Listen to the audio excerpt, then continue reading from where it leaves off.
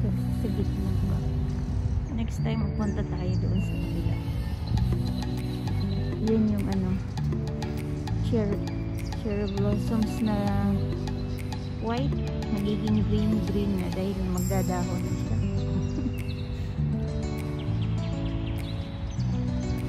so, fresh na fresh yung pine tree, cedar tree.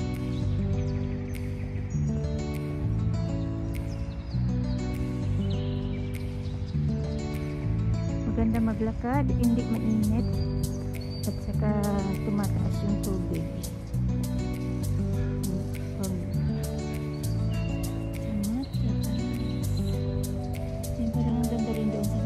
Alam niyo ba?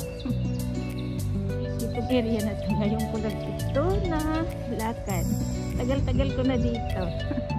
so, tinitirhan ko. Um, oh, 10 years. Sa 24, 10 years na ako sa tinitirhan ko. Pero, doon lang ako lagi sa, sa other side naglalakad. Yung banda malapit sa kalsada. But ito, dito, this area, ngayon lang. Oh, marami pang cherry blossom sa kabila.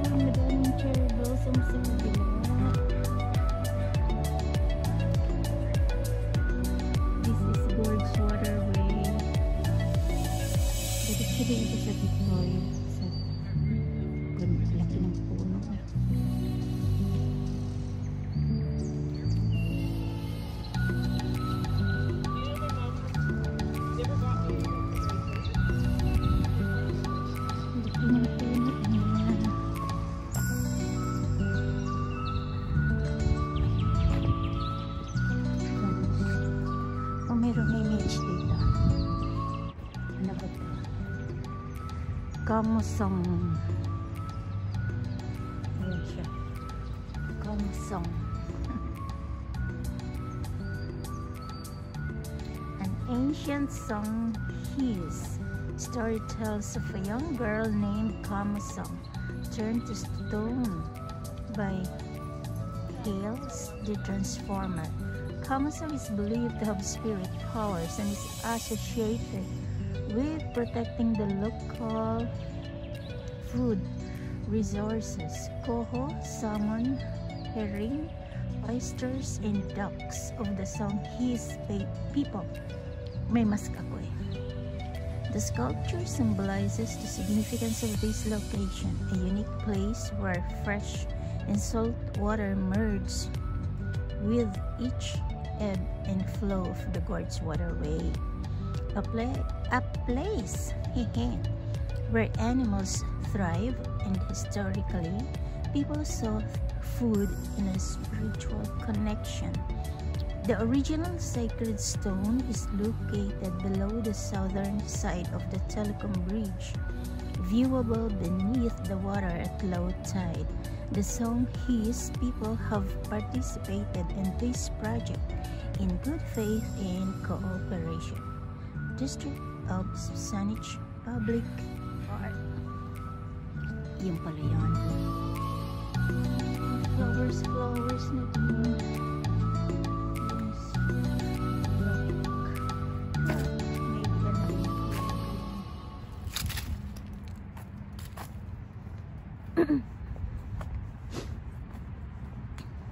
Baba sa ilong ko. Ito, Gorge Road West. So, this is the picture here.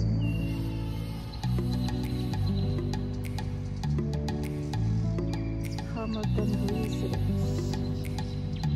Uh, laging may celebration dito. Only last year wala kasi pandemic na nga. Um, lagi, punong-puno dito ng tao kasi ginawa na siyang festival. So, pero hindi pa ako nakakapunta dito. Alam niyo ba kung bakit? Tanungin niyo ako. ano? Kasi syempre, pag ano yun, holiday, 9 o'clock, punta ako da, sa church ako nagpupunta. Kaya, hindi ako nakakapunta din. At saka kung minsan naman, may work. So, hindi rin. So, meron ditong park for kids. I play site. Ayan. Ganda. Kung nasa malayo-layo kayo, or kung gusto niyo magpunta dito sa Birds Waterway, ito yung playground. And then, there. So, meron ditong rental ng mga ano ba yung boats? Ang tawag dyan? Kayak. Kayak. K-A-Y-A-K. Kayak. So, this is for toddlers, kids. So, alaga ko dito. Ganda. Mamaya makikita niyo madaming mga boats. Diyan lang na sila. Yung ano na yan, kumpol na yan is blackberries yan. Ayan, lumalabas na si Haring Araw. Saka may water din. Okay. Meron pa po may tubig. Walang tubig. Siguro nga dahil pandemic. Ginano siya. Na-stop. Ah, may blackberries lang na naka... Ayan yung vine na mahaba green, kulay green. Pero ito bulaklakin yun. Dito yung nagpaparent ng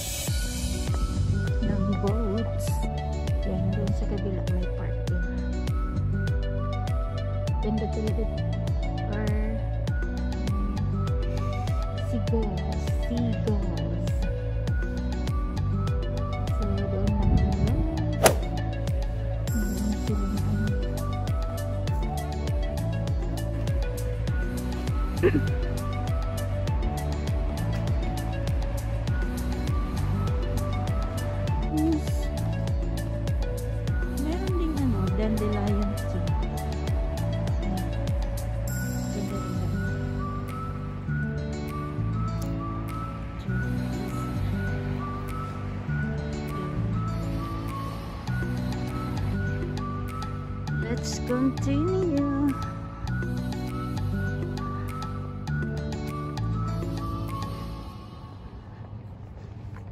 Yan, patapos na yung ano, cherry tree. So, yan na yung dahon niya.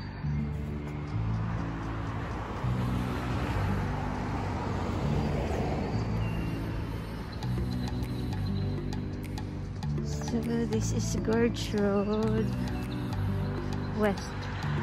Lumang-luma na yung kahoy na yun. Cedar tree. Pear tree on a pear tree. Baka ayaw nila magsimamag. Ang laki-laki pala ng puno na yan. Ano? Ilan kaya ang diameter niya? So this one too. Hello! Kasi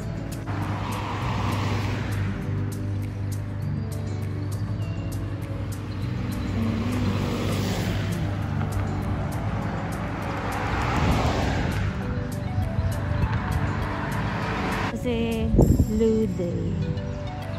Ano ba ang Lou Day? L-I-E-A-U kapalit ng holiday kahapon. Ganun kasi yung ano nila, patakaran sa ngayon sa company na pinag-workan ko. Hello!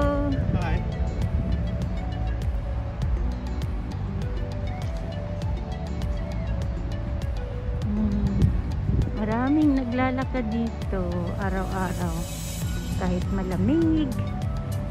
Kasi pag maglakad. Ang gumaganda I mean ang circulation ng ating blood. Ibaba sa ating ilang laki ng ano eucalyptus tree nakita ko yung ano isang yung daughter-in-law ng kliyente namin na Indian.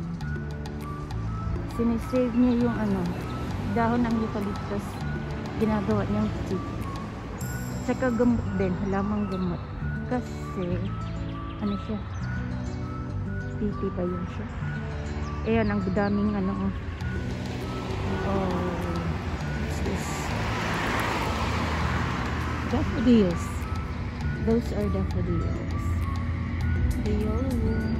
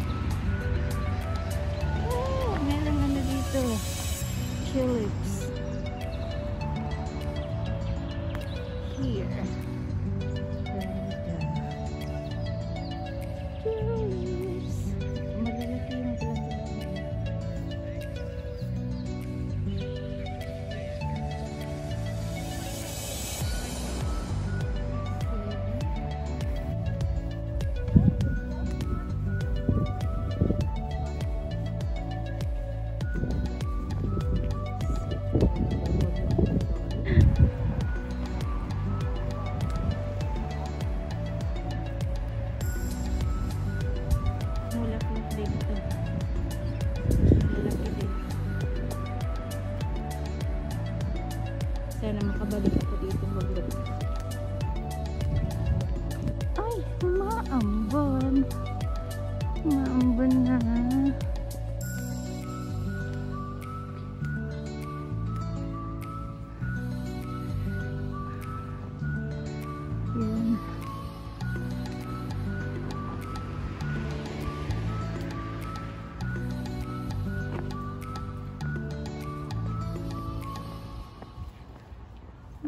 Umuulan.